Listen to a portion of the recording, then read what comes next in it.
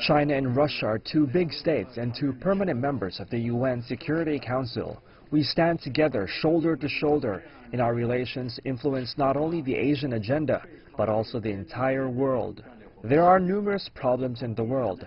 We have a lot of prospects and we are facing a lot of challenges and threats, as well as uncertainty. Russian-Chinese cooperation has reached an unprecedented level, a high-quality level.